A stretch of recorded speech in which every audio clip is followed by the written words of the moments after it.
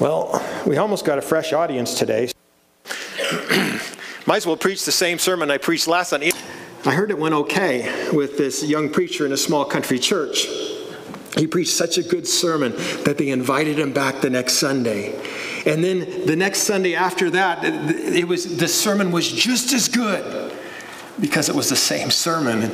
And the church goes, well, they kind of scratch their heads. Well, if we still like him, uh, we'll invite him back the next week. So the third Sunday, they invited him back again, and, and the sermon was just as good because it was the same sermon and and they didn't have anybody for the for the for the next week you know scheduled so they just said oh we'll just bring him again you know what's the what's the odds what's the odds he's going to preach the same sermon again and that sermon was just as good because you guessed it it was the same sermon and uh, this time the congregation kind of invited him back into the little meeting they had with them. And they, they, they got together and they says, hey, Pastor, you know, we've noticed that uh, you've preached to us the same sermon four times now. Is there, do you have any other sermons in your, you know, that you're going to preach to us? And, and the pastor didn't, didn't wince at all. He just said, well, you know, I preached that sermon, but once you guys do what I preached,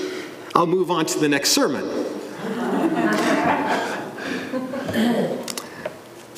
Please, let's turn to Jeremiah 42 3. You know, I've read Jeremiah so many times, and, uh, and even if I just read it once, Jeremiah is preaching over and over again the same sermon, it seems like. You know, we, we, we could, uh, Jeremiah is preaching the same sermon repent surrender to Babylon, and thrive where God wants you, or die from sword, plague, and famine where you want to go.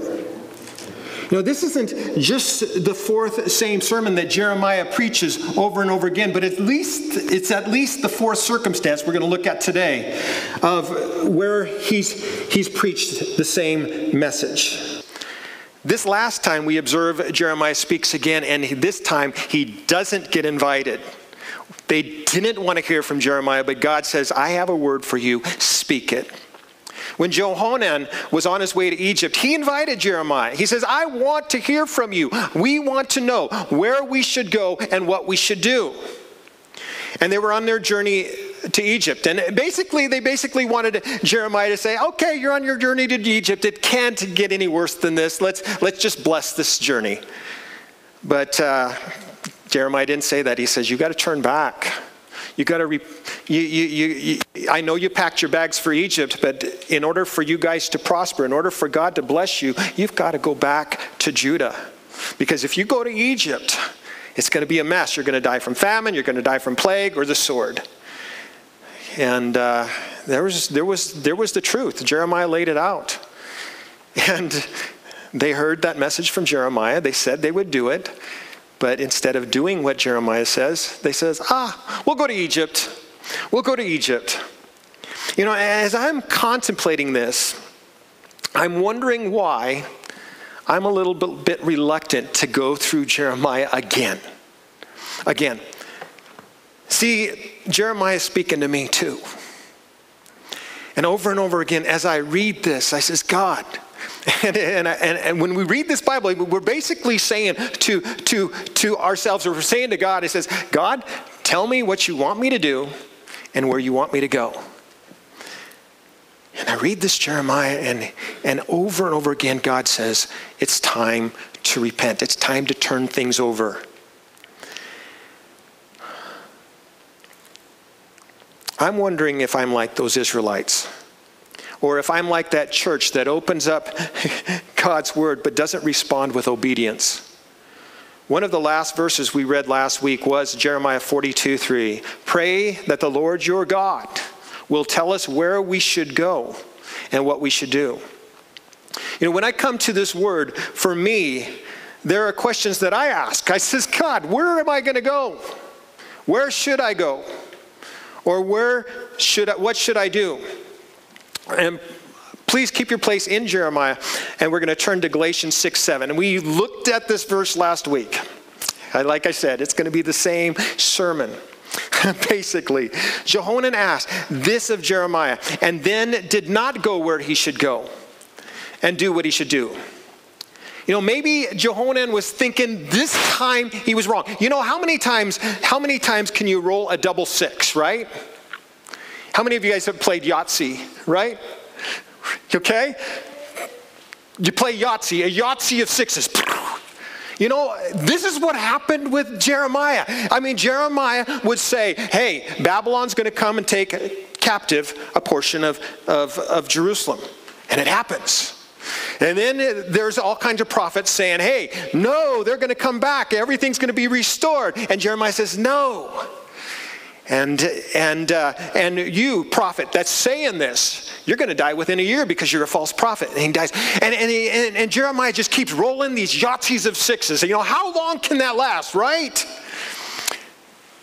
God keeps doing it over and over again. He's right 100% of the time, past, present, and future. And sometimes we think, I think in my head, oh, maybe I'm right. I'm going to go my own way instead of God's way. We have a history of 6,000 years with God being right 100% of the time. And sometimes we live like we're betting against the odds.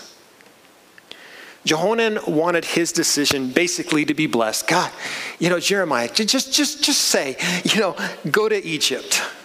Just, just say that. And Jeremiah did it. And Johanan says, Well, I'll go with my chances. I'll go with the odds or against the odds. We'll reread another passage we read last week again in Galatians 6 7. Do not be deceived. God cannot be mocked. And we, we, we, read that out of, out of our passage this morning, out of Colossians, what was it, 2 or 4? 2. 2.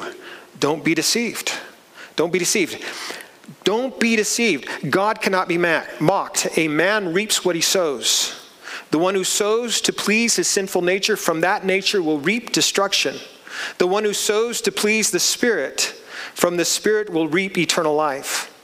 Let us not become weary in doing good, for at the proper time we will reap a harvest if we do not give up.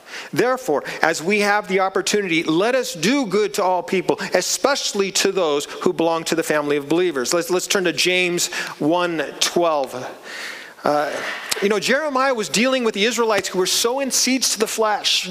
I mean, every time Jeremiah says, do this, don't do this, repent, and plant something good, do something good. And the Israelites would always say, okay, no, we're not going to do what you say. They'd been sowing seeds for a while, and they couldn't make the connections with the seeds of the flesh and take some time, that they take some time to mature and reveal the negative crop. And also, you know, we, we, we can, it goes two ways. When we sow to the Spirit, it takes some time for the good crop to, to do it. That's why it says, don't be weary in doing good. Don't get tired of doing good because you're going to reap a harvest if you don't, if you don't stop.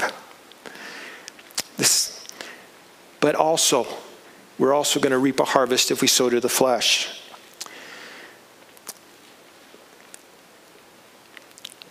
Like I mentioned last week, after the weeds are established, you can't go sow good seeds without first turning over the soil and clearing out the weeds first.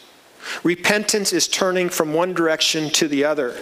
Then, by God's mercy and grace, He cleans out the sin and, and, and plants the good works into that good soil. Repentance, redemption, and regeneration. The Father, the Son, and the Holy Spirit. You know, these three steps. These three steps are repeated all over in scriptures. In Jeremiah, it's in the prophets, it's in the Psalms, it's in, it's in the Gospels, it's in the epistles. It's all over. I was, uh, I was uh, reading something this week, and it said, uh, it was the passage, or reminded myself, it says, No one can come to the Son unless the Father draws him. And this is one of the questions I'm going to ask at, at youth group tonight. No one can come to the Son unless the Father draws him. And, and, it, and it connected. Because there's where it starts we see the Father and we look at his holiness, and then we see our unholiness, our unrighteousness before him. And what does, what does, the, what does the law do? It brings us to Christ. What did John the Baptist do? He had a ministry, he had a baptism of repentance. Repentance. John prepared the way of the Lord. And I'm, I'm, going, whoa! I never connected that, that passage, that verse, unless the Father draws them. I always thought this was, this was like the election. Okay, uh, I choose you, I choose you, I choose you. No, but really, God's perfection, God's holiness, God's law, and his standard for us is what draws us to Christ. Does that make kind of sense? He, repentance leads us to the cross. Jesus redeems us from the curse of the law by becoming a curse for us. And, and, and, the cross is where we trade our unrighteousness for his righteousness. But he doesn't stop there. You know, though our sins be as red as scarlet, they shall be white as snow. You know, he doesn't just say, okay, I wiped all that nasty stuff off your life. You're now clean. You're, you're before me. Because when we plow a field, we just don't keep plowing it and plowing it and plowing it over and over again and say, oh, I'm clean. No. We plant in that field. And so through, through, through Jesus, we die. We're buried with Christ. We're like planting ourselves. And then the Holy Spirit gives us new life, and we get a new life in Him. And that's the abundant life. That's salvation. You know, so many people think, and there, there's, I'm, I'm going to get ahead of myself, so I better, better slow down here. We could, there's, there are good deeds that we do in the grace and the power of the Holy Spirit that will reap a harvest if we do not give up. Salvation is so much more than just a change in address. Salvation is so much more than just a change in address. And sometimes we just look at this evangelism. Just, just say the prayer. You know, take on Jesus' righteousness. Wipe your slate clean. Though your sins be as red as scarlet, they shall be as white as snow. And we stop there. Woohoo! They're going to be in heaven.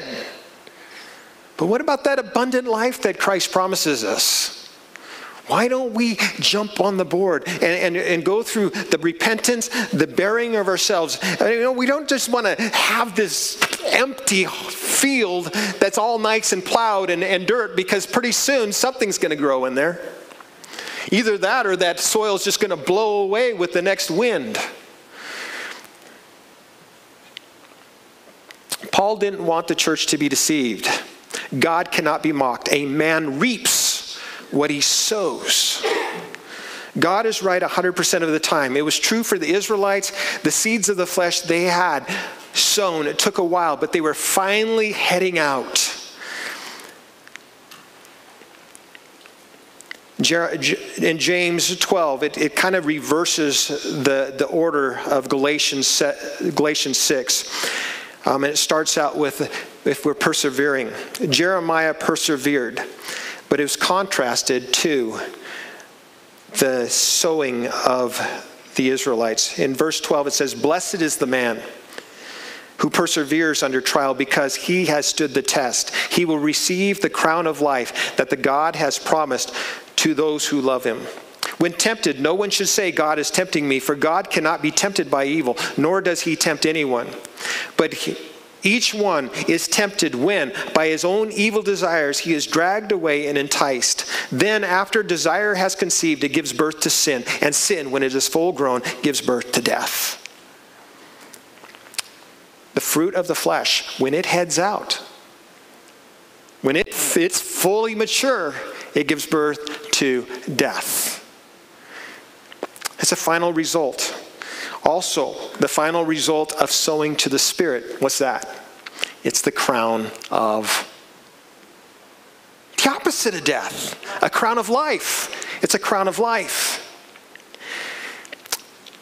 Verse 16, continuing on, do not or don't be deceived. There's that word again. Don't be deceived, my dear brothers. Every good and perfect gift is from above, coming down from the Father of the heavenly lights, who does not change like shifting shadows. He chose to give us birth through the word of truth that we might be a kind of first fruits of all he created.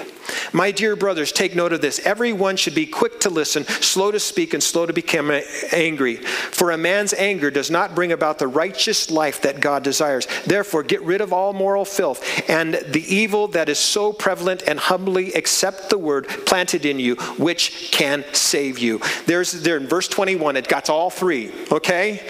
Get rid of the moral filth, turn it over, repent, get it over with, and then get this word planted in you which can save you. And I'm, and I'm talking, this salvation is not just a salvation to change an address, this is salvation for your life. He gives you new life. Repent, plant, and grow. Turn your life to God in fear. Be buried with Christ in death and raised to new life in the Spirit. Verse 22 Do not merely listen to the word and so deceive yourself. There's that word deceive again. Okay?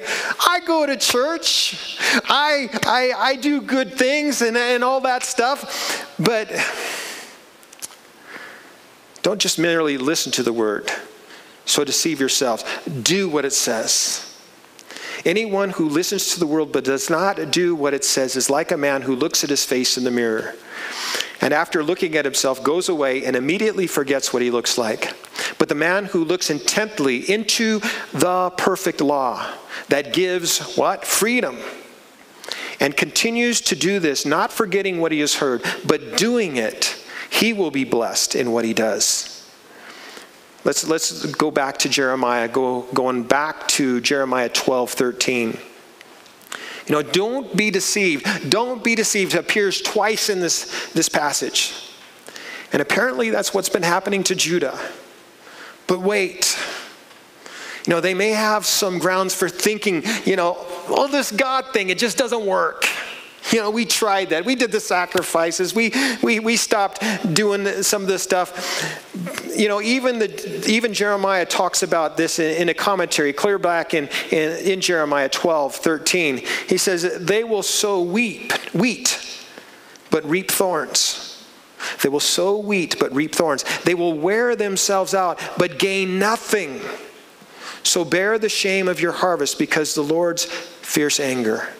And we're going to go to Jeremiah 44. And who can blame them? You know, we tried that. You know, we, we did the things that you said, Jeremiah. We, we, we got rid of our slaves. Remember that passage where the, Jeremiah says, get rid of all your slaves. And so, so they, they says, okay, we get rid of our slaves. You know, that lasted about a week and then they got them all back, you know. But, did, you know, it was still bad. It lasted a week. Repentance. You know, it's, it's kind of like those diets. You get on a diet. Woohoo! I'm on a diet. You know. And, and, and, you're on it for a week, and man, I didn't lose any weight. You know, I'm still chunky or whatever. You know, you know what I'm saying? Uh, you gotta, you gotta go through, and, and, and like, like we will, we will reap a harvest if we don't stop. We gotta stay with the game. We gotta stay with it.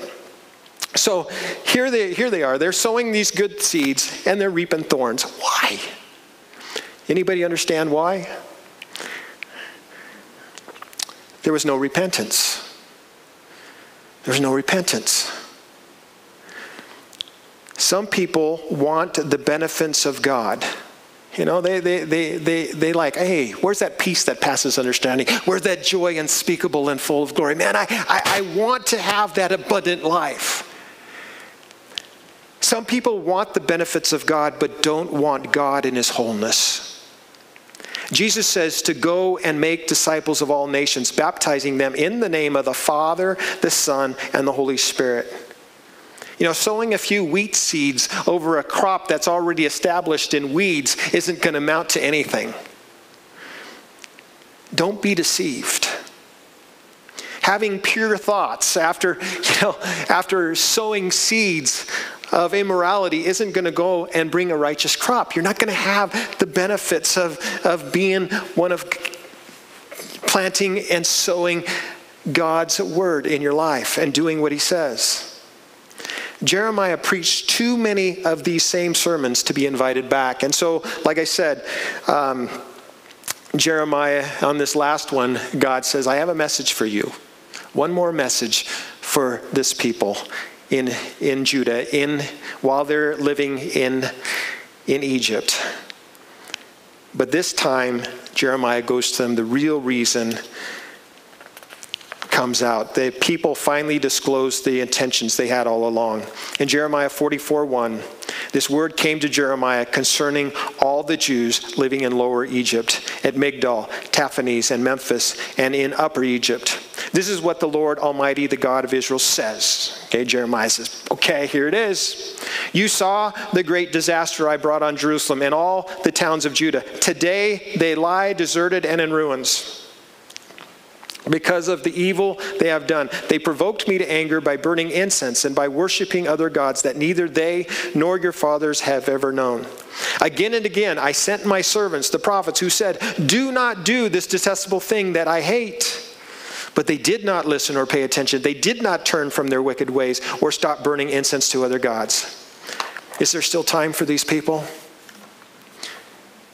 You know, I, I think there is, or God wouldn't say, Hey, Jeremiah, hey, I got a message for these people. There's still time. There's always time to stop the weeds from maturing. And, and of course, when they finally mature, you know, it brings death, right? Until death, until they mature, it's not too late. In, Washington, where, where they have the Palouse, there's an average dry land wheat yield of over 80 bushels an acre. That's average, okay? Crazy. Some record wheat yields of 150 bushels on dry land, okay? Whitman County in Washington averages 83 bushels an acre, and Latah County of Idaho averages 82 bushels an acre. Okay, anyways, the land is good, but just because the land is good, doesn't mean the crop is. Anyways, there, there, was, there was a farmer over there, and this is, this is, this is, this is one of the, the stories that you hear over there. There was a farmer over there that, that all around him was beautiful wheat crops. And in his wheat field, he had those thistles growing. And uh, over and over again, the, the, farmers, the local farmers around him says, get rid of those thistles. You got, you got thistles in your field, spray them, do something, you know, when they, when they were really young. And as they were growing, as they were getting older, he says, do something, you know, go in there and just hack them. All you got to do is go through your field and just hack them off. Stop those thistles from growing, please. And then pretty soon the thistles were blooming. And the farmer says, Do something. You got to mow them down. Do something. Plow them under. Do something. Get rid of them. Because these thistles, man, their root systems go low. They suck all the, the moisture out of the, out of the ground and, and it ruins the harvest. And not only that, when they bloom, their seeds spread like crazy for miles around. Nag, nag, nag. They kept hearing the same thing. The farmer kept hearing the same, the same thing. Stop, turn those things over, destroy those things. And then one night it happened. His field went up in smoke. I don't know why. but Jeremiah was right at that point with these people from Judah. There was still hope. As long as we have breath, there is still time to repent and destroy the crop of flesh and avoid the complete destruction, death, and flames of the maturing sin. Sin's roots were deep. In Jeremiah 44 9, Jeremiah continues with this nag nag. Uh, have you forgotten the wickedness? committed by your fathers and by the kings and the queens of Judah, and the wickedness committed by you and your wives in the land of Judah and the streets of Jerusalem. To this day they have not humbled themselves or sworn or shown reverence, nor have they followed my law and decrees I set before you and your fathers. Therefore, this is what the Lord Almighty, the God of Israel, says I am determined to bring disaster on you and destroy all Judah. I will take away the remnant of Judah who were determined to go to Egypt to settle there. They will all perish in Egypt. They will fall by the sword and die from famine. From the least to the greatest, they will all die by the sword and famine. They will become an object of cursing and horror, of condemnation and reproach. I will punish those who live in Egypt with the sword, famine, and plague, and I will punish Jerusalem. None of the remnant of Judah who have gone to live in Egypt will escape or survive to return to the land of Judah, to which they long to return and live. None will return except for a few fugitives. You know, blah, blah, blah. Sounds familiar, right? In verse 15, then all the men who knew that their wives were burning incense to other gods, along with all the women who were present, a large assembly, and all the people living in lower and upper Egypt, said to Jeremiah, We will not listen to the message you have spoken to do to us in the name of the Lord. The truth comes out. In verse 17, they continue, We will certainly do everything we said we would. We will burn incense to the Queen of Heaven and pour our drink offerings to her, as we and our fathers, our kings and our officials, did in the towns of Judah, in the streets of Jerusalem. At that time, we had plenty of food and were well off and suffered no harm. But ever since we stopped burning incense to the Queen of Heaven and pouring out drink offerings to her, we have had nothing and have been perishing by sword and famine. The women added, when we burned incense to the Queen of Heaven and poured out drink offerings to her, did not our husbands know that we were making cakes like her image and pouring out drink offerings to her? Then Jeremiah said to all the people, both men and women who were answering him, Did not the Lord remember and think about the incense burned in the towns of Judah and the streets of Jerusalem by you and your fathers, your kings and your officials, and your people of the land? When the Lord could no longer endure your wicked actions and detestable things you did, your land became an object of cursing and a desolate waste without inhabitants as it is today. And going down to verse 26, but hear the word of the Lord, all the Jews living in Egypt. I swear by my great name, says the Lord, that no one from Judah living anywhere in Egypt will ever again invoke my name or swear as surely as the Lord lives. For I am watching over them for harm and not for good. Well, that, that doesn't sound like Jeremiah 29 11, does it? I'm watching over them for harm and not for good. The Jews in Egypt will perish by the sword and famine until they are all destroyed. Those who escape the sword and return to the land of Judah from Egypt will be very few. Then the whole remnant of Judah who came to live in Egypt will know whose word will stand, mine or theirs. You know, we live in a culture that's betting against the odds. Are we betting against the odds? What are the raisin cakes that we bake? You know, what are the things that, you know, God, I don't think I'm going to give that up? What are the images we form? What are the gods we serve? I don't want to be deceived.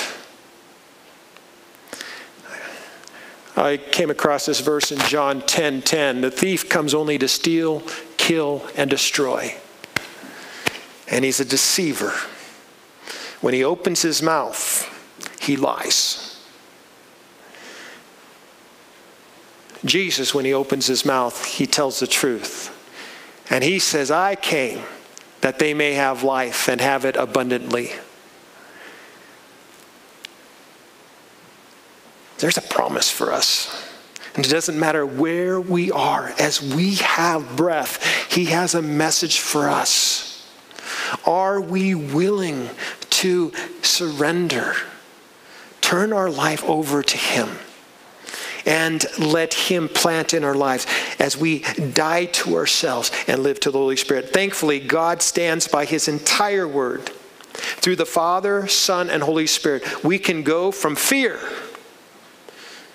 to relief, to abundant life. Let's pray. Lord, we come to you today, and Lord, there's so much in your word. And Lord, even though you know sometimes we we hear it and we go, man, I don't I don't want to hear this. I don't want to keep hearing the same thing over and over and over again. Lord, these words aren't written for us to get bored These words aren't written for us to, to detract from life, but they're to save us. Not only save us from the destructive pattern that we've lived, and not only to save us from our own sins and our own way we've planted from heading out to death, but to plant in us a new and abundant life, full of glory and joy unspeakable, full of peace that passes understanding, that not as the world gives, but as you give. And Lord, though the world doesn't understand it, when we follow you and, and do as you say, we come to understand who you are and that you are a wonderful, loving God. Lord, help those that, that, that, that hear your word. Let it sink in. More than just in our, in our cranium, but Lord, let it flow out into what we do with our hands and where we walk with our feet. And Lord, we ask this in Jesus' name. Amen.